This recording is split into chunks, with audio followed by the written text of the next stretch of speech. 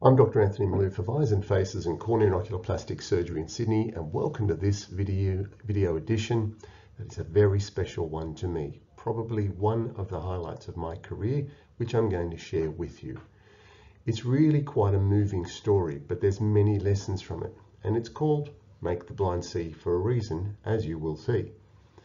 Now firstly to qualify, not all blind people can be made to see. There are many different causes of blindness this gentleman had a cause that was amenable to very complex reconstructive surgery. And he's had an amazing outcome. It's exceptionally moving to take somebody who cannot see at all and restore their vision. Now, a bit of background. This gentleman had a long-standing problem, multifactorial, so I'm not going to go into different causes, but let's say there are three causes for something. Generally, if you have one cause and you fix it, things get better. If you have two causes, you run into problems. Three causes, you've got chaos. So he had three nasty causes for him losing vision, and we couldn't fix all of them. So we were sitting on him for a long time and holding his vision. He could sort of see the top letter of a chart, and then suddenly got an acute, nasty infection that ate into the front of his eye and then went inside the eye. It wasn't a simple infection, it was a fungal infection. And you get a fungus in your only eye, the natural treatment that we would usually recommend is to remove the eye. The problem is, behind the front where he had the infection, it was a normal eye. Give it a day or two and it would go in and destroy it. So we had to move literally in minutes. The other eye was blind. He's not young. You imagine getting into your 80s and losing all your sight. It's pretty much a death sentence. So we did some very heroic reconstructive surgery to get the infection under control, but it scarred up the whole front of his eye. And you will see what that looks like. So he can't see, comes out of hospital and cannot see. Pretty devastating. You're seeing one day, and within a couple of days, you're blind. So what did we do? We ummed and ahed and went through all different treatment regimes. And in the end, he had to pluck up the courage to go through extensive surgery. His other eye was blind. But what he needed, he needed the front of the other eye on what was left of his sighted eye. And that's what I did. So I removed one eye, took the front off it, removed the contents and put an implant in. And then I took the front of one eye and I put it onto the other to reconstruct the eye. And that's what I'm going to show you here. So let's have a look. All right, so here we see the patient and you'll see mm, I'm actually operating on his non-sighted eye. Can't see. It looks normal. Looks completely normal. But what I'm cutting there is a lining of the eye called the conjunctiva. You'll know that when people say conjunctivitis. And that lining there has got very critical stem cells. You will have heard of stem cells. Stem cells are, you know, people shout them all the time, but he's got stem cells. So I'm taking the white of the eye, the clear part of the eye, and the stem cells all in one go. And sadly, what is structurally a normal eye behind, I'm then going to remove.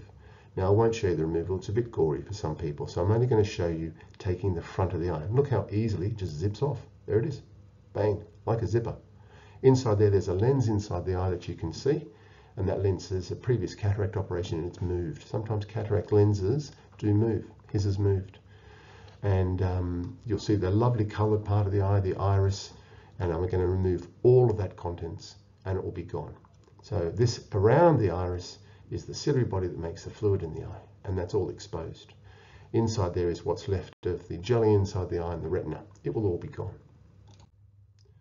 All right, so we'll move on to the next eye. So look at that. Literally, it's a mess. This is his only sighted eye. I put a ring on it to support it, and that's stitched in place. It's called the Flieringa ring. So, and now I start the process of removing what is some remnant to the front of the eye. I have tried to use a donor tissue to transplant there. There's some stitches there. It just didn't work. It failed. And literally it is the proverbial dog's dinner. Take that off and here's the new tissue over the front. And I'm trimming it to fit it into place. So here it is. You've got to look after it and I'm slowly stitching into place. And in the end, it just takes time you stitch, you remove it, you change stitches, you add more, you remove some, you reposition some, you fill up the eye. There's a bit of blood in there, but it's just a slow process of restitching this eye. And we keep going and going and going until it's done. Yes, he's asleep, he has a general anesthetic, and he's paralyzed so that there's full control over the patient by the anaesthetist. So we, we keep going until it's all sealed in and that's stitching the white of the eye back together. Um, if you go too far and be too aggressive, you can actually kill the eye and the eye will literally uh, never come back to life. So then we, the, I've got to stitch the stem cells back together. And here you go, you can see me stitching the stem cells back onto the lining of his eye, which had none. And we need those healthy stem cells to create a lining so that he can see. Without that lining, he will not see. Um, and so I'm stitching those stem cells back together. And let's move on. And once that's all done, I then place a membrane over the eye. This membrane is called amniotic membrane. The amniotic membrane comes from placenta. We have another video of this, stitching a placenta onto your eye. And I do a double layer of amniotic membrane for a reason in this patient. Now, it doesn't stay there. In fact, you have to take it out. It can cause problems, but that membrane is critical. It has growth factors and it really helps the eye to come together. I'm reclosing the lid. This was a partial closure that he had before surgery. I opened it up, so I'm reclosing that. And you can see me restitching it back together again. And I'm restitching the other side as well so it's all closed down. But he still has an opening and I don't want that opened either. So we do a temporary closure. The previous one's permanent. Here's a temporary closure. It's got some little plastic um, lugs there to hold it all in place. And now the eye is temporarily closed.